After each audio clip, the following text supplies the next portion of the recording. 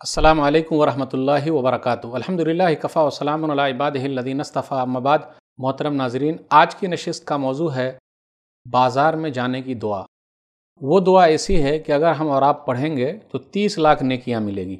تو چھوٹے کام، بڑے انعام۔ آئیے وہ دعا کیا ہے؟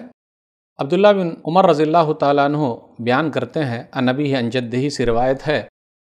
نبی صلی اللہ علیہ وسلم نے ارشاد فرمایا، سنن ترمزی کتاب الدعوات، کتاب نمبر 45 حدیث نمبر 3428 وہ دعا ہے، لا الہ الا اللہ وحدہ لا شریک لہ لہ الملک و الحمد، یحیی و یمیت، وہو حی لا یموت، بیدہ الخیر، وہو علا کل شئین قدیر۔ جس نے یہ دعا پڑھی، میں ایک مرتبہ اور پڑھتا ہوں۔ لا الہ الا اللہ وحدہ لا شریک لہ لہ الملک و لہ الحمد، یحیی و یمیت، وہو حی لا یموت بید الخیر وہ علا کل شعین قدیر۔ انعام کتنا ملے گا؟ تیس لاکھ انعام ملے گا۔ نبی صلی اللہ علیہ وسلم نے فرمایا، کتب اللہ له الف الف حسنہ۔ دس لاکھ نیکیاں لکھ دی جاتی ہے اس کے بعد کہا وہ مہا ان ہو الف الف سیاح دس لاکھ برائیاں مٹا دی جاتی ہے اس کے بعد کہا، ورفع له الف الف درجہ۔ اور دس لاکھ درجات بلند کیے جاتے ہیں۔ تو ہم اور آپ جب مارکیٹ میں جائیں تو یہ دعا پڑھتے رہیں۔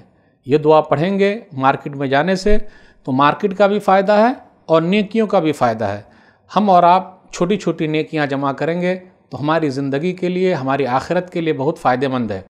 اور بازار کے بارے میں تو ہم اور آپ جانتے ہیں، سب سے بری جگہ ہے۔ تو آدمی کو چاہیے کہ وہ دعاؤں کا، وظیفوں کا اہتمام کرے تاکہ ان بری جگہ سے وہ بچا رہے۔ اس کے ترجمے پر غور کیجیے، معبود برحق اکیلا اللہ ہے، اس کا کوئی شریک نہیں۔